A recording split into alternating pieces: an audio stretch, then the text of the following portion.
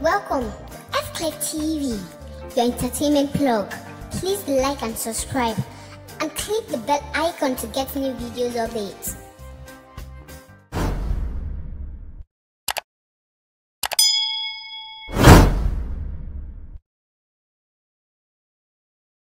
Look at the children these days, the youths.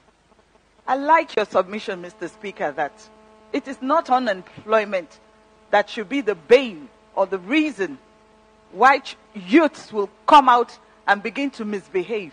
There are unemployments in so many countries of the world, even the, in the United States. I schooled in the UK, and I saw a lot of young people who were not employed, but they didn't become hoodlums. Why can't we look inwards and look for solutions to our problems? Why can't the young people look within themselves, look for their talents? Even if as graduates, what stops you from, from becoming a designer or a professional um, or what have you? And make a brand of it.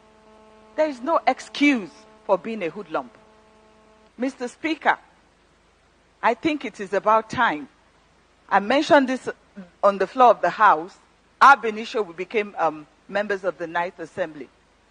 That the National Orientation Agency needs to set to work. We need to begin to and orientate our young people. They need people who can talk to them from time to time. They are high on drugs all the time, most of them. They go to social media, they, they do all sorts of things. I'm even scared to give my young children phones because I'm scared I don't know what they would see on the, on the social media. It's that bad. We need to set the National Orientation Agency to work. The Nigerian National Population uh, Commission. We need to have data. We need to have statistics of our, of, of, of, our, of our citizens. We need to know who is what and where. We need to, to be able to identify our people. And Mr. Speaker, this is my humble submission in, con, in, in conjunction with what um, Honorable Rotimi has said, that a committee be set up to look into this um, carnage. Thank you, Mr. Speaker. Thank you.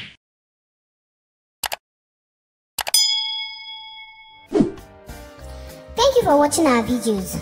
If you're not a subscriber yet, kindly click the subscribe button and ring the notification bell to get notified whenever we release a new video. Thank you.